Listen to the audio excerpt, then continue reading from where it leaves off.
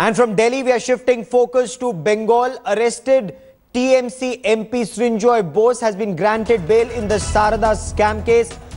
Srinjoy Bose had been arrested on the 21st of November. He's been granted bail on health grounds. He was arrested by the CBI in connection with the Saradha scam. There was criminal conspiracy, fraud, and allegations that he benefited from this scam. He's been in judicial custody after his arrest. The CBI questioned him initially.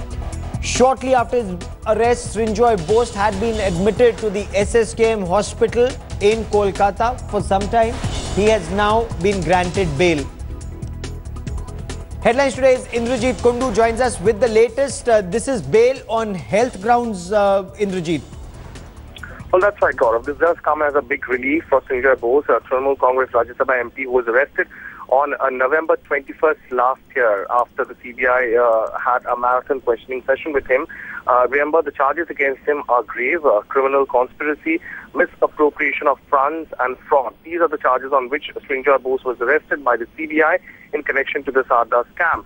Now, uh, his uh, his uh, statements have been recorded by the CBI, and ever since the CBI arrested him, after the initial uh, period where the CBI took custody or took his custody, since then he has mostly been in judicial custody, and a large portion of his judicial custody uh, term was spent in the SSKM hospital because reportedly he was uh, he had reported ill.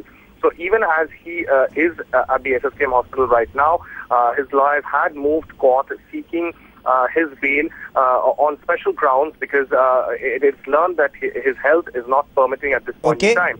So the Alipore court has finally granted him bail, the conditions of which are still unclear. We'll get to know once his lawyer comes out of the court and briefs us, but it does come in as a huge Okay. relief for the Trinamool Congress MP.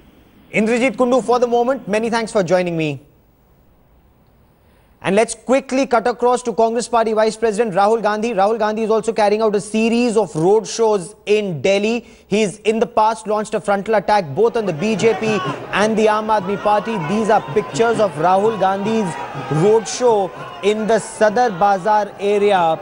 Now, Rahul Gandhi is carrying out his road show in areas which are considered Congress Party strongholds.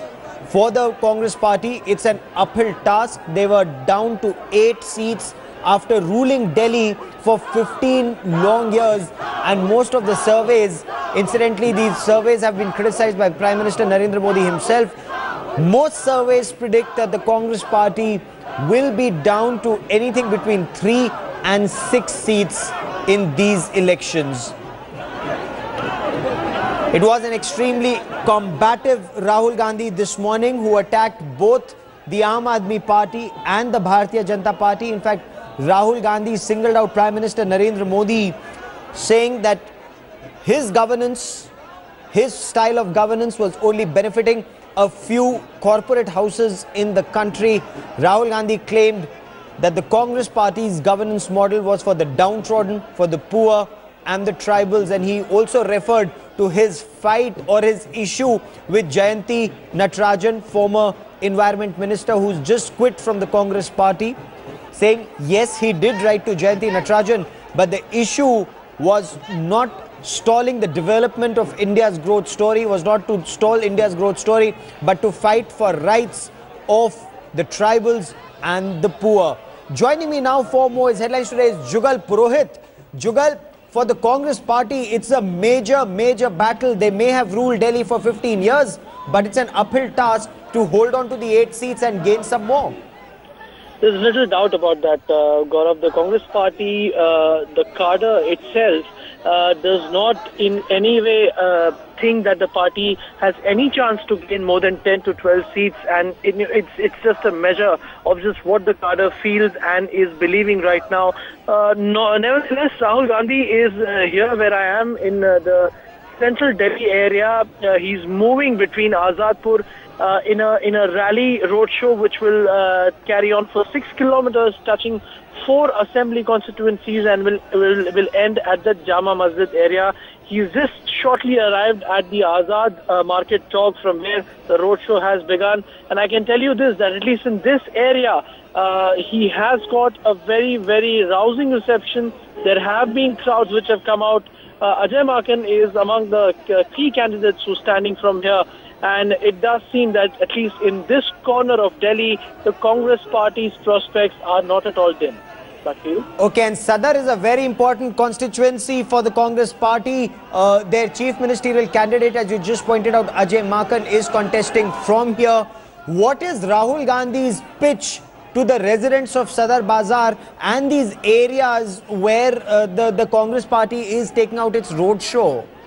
You know, Gaurav, ironical as it may sound, uh, the cadre who I was speaking to is also a little upset about the fact that Rahul Gandhi will not be speaking to them at all. He's simply uh, waving at them and passing by in a giant truck which the Congress party has arranged. So there is no real uh, communication or talk or any speech whatsoever in this entire six kilometer long roadshow. He's not even carrying a loudspeaker and a mic. He's simply standing and waving at the crowds, no communication whatsoever. The only reference point we have is from his rally in Bhalaswa, from where he now has arrived into this part. The rally's contents, of course, are known to all. No communication, as I said, out here with these residents at least.